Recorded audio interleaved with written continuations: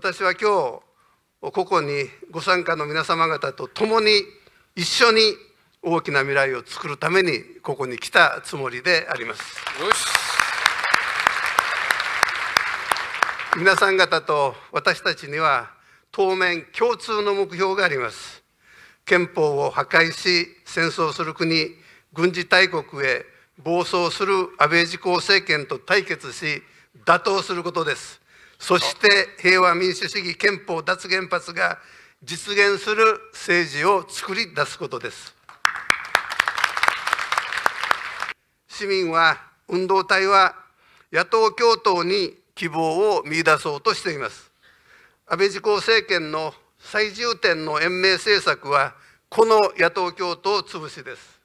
しかし参議院選挙のように中途半端な野党共闘ではまだダメです。野党が政策協定、候補者調整、選挙体制で本気であることを明確にする必要があります。そうすれば、改憲勢力の議席3分の2の獲得阻止は当然で、安倍を退陣に追い込むことも可能になります。もう一度皆さん方にお願いしましたいと思います。本気の野党共闘を作り上げてください。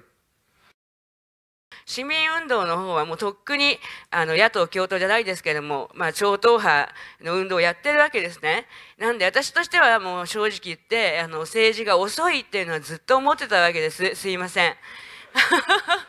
ちょっと危機感が足らないんじゃないかというふうに思ってたわけです。2013年頃から。ですが、まあ、いよいよ、あの、共産党の皆さんも、えこうして、あの、未だかつてない野党共闘という、えこういった、え局面を、えーこう鮮やかにクリアしてくださいまして本当に、えーと、感謝を申し上げたいと思います。ありがとうございます。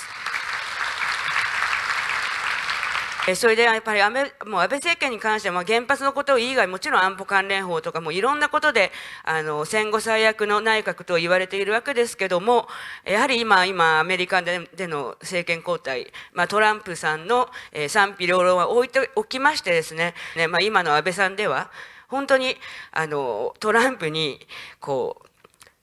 媚びを打ってそして、えー、使われてお金をたくさん取られるんじゃないかって、まあ、そういうふうに今皆さん心配してると思います。なので、まあ、国内だけのことではなくて今やはり安倍政権が、えー、外交するということの危険性を私はすごく、えー、感じております。だからこそやはり今年はさらに、えー、おそらく衆院選来ると思いますのでここで、えーと、野党の皆さんには、えー、議席数を伸ばしていただかないといけないということを強く私たち市民は望んでおります。えー、まあ、個人の尊厳リスペクトという言葉も使っていますけれども、えー、それをですねきちんと擁護するような政治を実現していきたいと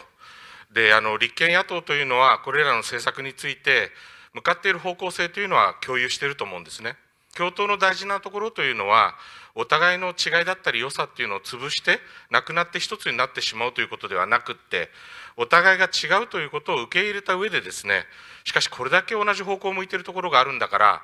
今のような政治を破壊することっていうことはもうやめにしていきたい今年こそそれができると